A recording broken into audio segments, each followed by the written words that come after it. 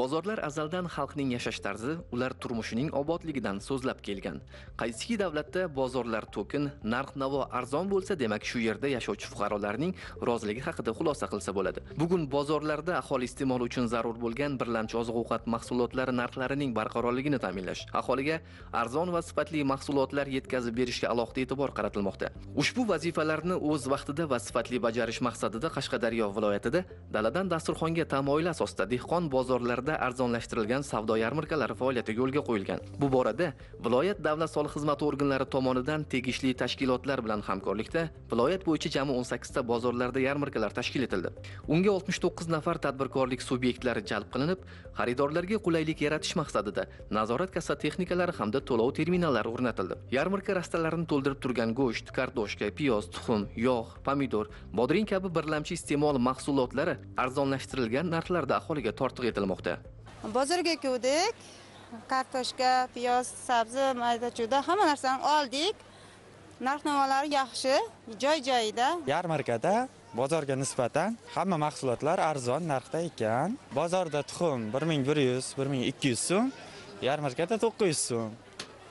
A, yog' narxi bozorda o'n 19 20 ming yarmarkada 17 narx navodan xursandmiz. Bozorga nisbatan yarmarkada anchalik narx navolarimiz arzon.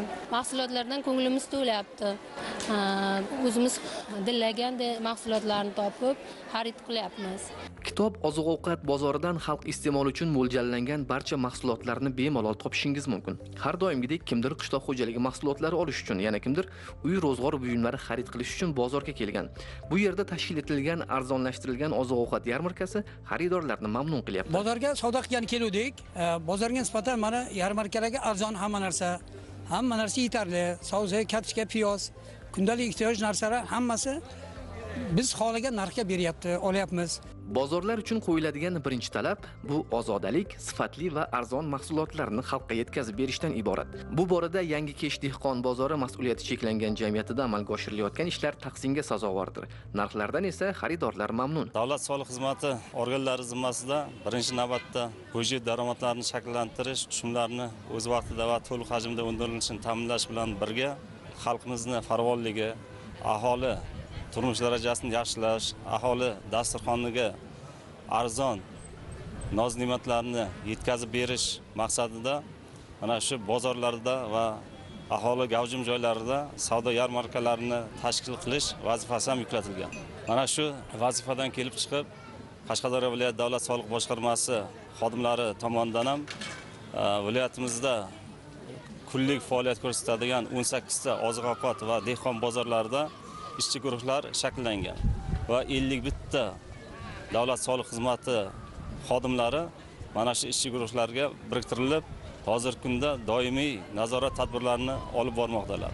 Hozirgi kunda faoliyat ko'rsatayotgan yarmarkalarda 12 turdagi aholi ehtiyoji uchun zarur bo'lgan oziq ovqat mahsulotlari doimiy arzon narxlarda yetkazib berilishi ta'minlab kelinmoqda. Oziq ovqat mahsulotlari narxlarini sun'iy ravishda oshishini oldini olish maqsadida vakolatimiz doirasida nazorat tadbirlari ham olib borilmoqda. Oziq ovqat yarmarkalarini tashkil qilishda bevosita mana shu daladan dasturxongacha tamoyili asosida hozirgi kunda bozorlar qoshidagi tayyorlov tashkilotlari bilan mahsulot yetishtiruvchi fermer xo'jaliklarimiz o'rtasida o'zaro shartnomalar imzolangan. Qishloq xo'jaligini barcha turdagi mahsulotlari fermer xo'jaliklaridan to'g'ridan to'g'ri sotib olinib yarmarka orqali aholiga hozir yetkazib berilmoqda. Surxondaryo viloyatida ham davlat soliq xizmati organlari xodimlari va mutasaddilar ishtirokida tuzilgan maxsus ishchi guruhlar bozorlarda asosiy turdagi oziq-ovqat mahsulotlari narxlari barqarorligini ta'minlash va savdo yarmarkalari faoliyatini samarali tashkil etish borasida tizimli ishlarni yo'lga qo'yishgan. Ishchi guruh tomonidan viloyatdagi 15 ta dehqon bozorlarida muntazam ravishda nazorat tadbirlari o'tkazilib, narxlarning asossiz oshirilishining oldi olinmoqda. Go'sht, yog', shakar, un, guruch, kartoshka va sabzi kabi 12 turdagi mahsulotlar bevosita ishlab chiqaruvchilar va fermer xo'jaliklari tomonidan yetkazib berilib, arzon narxlarda sotilishi ta'minlanmoqda. men bozorlik qilishga keldim. Bemalol hamma narsani xarid qilib men uyimga ketyapman. Mana yarmarkalar ochilgan. Yarmarkada go'shtlar ellik besh mingdan xohlaganda xohlagan joydan olish mumkin. Oziq ovqatlarni narx navosi barqaror. Hech qanaqa kamchilik yo'q. Mana bozorlarimiz tekin sochin hammanisi bunday qimmat emas arzon. Hammanisi joy joyiga joylashgan. Rastalarda ho'l meva quruq meva hammanisi bor bozorda. Men ham mana bozorga qaytyapman mana uyga. Narx navodan xaridorlar mamnun bo'lsa yaratilgan sharoitlar sotuvchilarga manzur bo'lmoqda. Mana bugungi kunda yangi bozorimiz qurildi yaxshi shinam. Shart sharoiti yo'q joylarda savdo qilganmiz. Hozir mana rastada savdo qilyapmiz. Savdomiz yaxshi. Xaridorlarimiz o'zimizga yarasha. Davlat soliq xizmati organlari tomonidan bozorlarda narx navoning barqarorligini ta'minlash barobarida mahsulotlar sifati va tadbirkorlik subyektlarining to'lov terminallari bilan jihozlanishi ustidan ham doimiy nazorat olib borilmoqda. Qoraqalpog'iston respublikasining nukus shahridagi dehqon bozoridamiz kunlik ro'zg'or uchun zaruriy mahsulotlarning narxlari qay darajada?